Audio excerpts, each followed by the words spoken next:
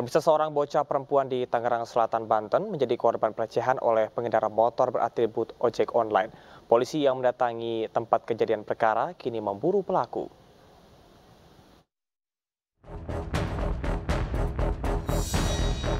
Kamera pengawas merekam pengendara sepeda motor yang menggunakan atribut ojek online melintas di Jalan Tanah Merah Ciputat, Tangerang Selatan, Banten dan berbuat tak senonoh.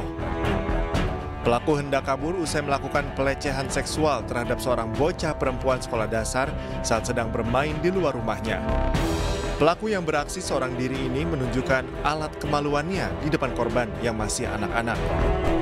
Dari keterangan ibu korban, anaknya berteriak setelah melihat aksi bejat pelaku dan seketika pelaku melarikan diri. Dia main, itu juga nggak sampai lima menit dia main. Dia katanya sih mau samper temen ya. Saya bilang, ya udah kamu nggak boleh main tapi samper temennya aja. Ya udah samper temennya, temennya ternyata kan nggak jadi main. Akhirnya dia pulang lagi. Nah posisi pas jalan pulang itu, itu dia eh, dapat kayak gitu. Ya, kita sudah mendatangi TKP, menanyai orang tua korban terkait masalah eh, pelakunya, dan kita sudah dapatkan informasi. Saat ini rekan-rekan dari Polres sudah membantu kami untuk mengejar pelakunya.